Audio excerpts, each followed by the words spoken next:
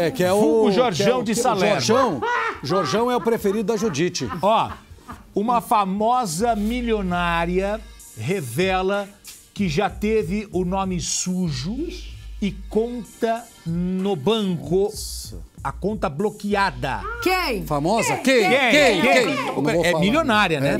É, então é milionária. Milionária. Então não é a Preta Gil. A Preta Gil não teve, não? Jamais teve o nome envolvido em qualquer coisa. Tô com saudade da Preta Gil, faz tempo que a gente fala dela. Quem é a milionária que já teve o nome sujo e também já teve uma conta bloqueada no banco? A Patrícia Bravanel. Não! Foi. Sério? Patrícia Ah, Bravanel. não é filha do possível. Não é possível. Vezes não. Diz que o nome dela já foi parar no SPC, que ela cancelou aí a conta do celular e ficou pendente uma fatura, um, um boleto lá pra pagar. Será que o nome dela não foi parar no Só Pra Contrariar SPC, a banda de Não, pagode? não, foi no, no- no Serviço de Proteção ao Crédito mesmo. Ah, é? Um dia ela falou que eles bloquearam a conta dela no banco por causa da dívida de 100 reais que ela deixou do celular.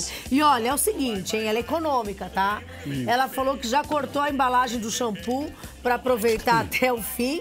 e ela coloca água pra render o, Ah, isso eu já o- fiz. o restinho. Põe um pouquinho assim na água, Ah, dá eu uma não gosto- Eu não chacoalhadinha. gosto de shampoo aguado, não. E quando termina o, o- a pasta de dente, como é que a pessoa Enrola, faz? Enrolando, torce. enrolando e- Ah, e isso faz eu assim, faço, ó. eu Bota faço. assim pra ficar o finzinho pra sair um pouquinho. Ô, Lombi, você... Mas escuta uma coisa, ela não me falou que se ela me falasse eu pagaria. Ah, Silvio. afinal de contas, Patrícia, Rebeca e o time todo, Olha, a Bravanel. Vamos lá, momento Caco Antibes agora. Fabiola Hypert, você lambe a tampinha do iogurte? Lambo. Não, porque eu não gosto de iogurte. que mais? Vai, pergunta. Ai, do contra. Ué, vou fazer o que eu não gosto. E você, Lambi? Nossa, eu tudo. Ela enfia a língua, sabe onde? No, no potinho assim, ó. Que tem assim. Vamos lá.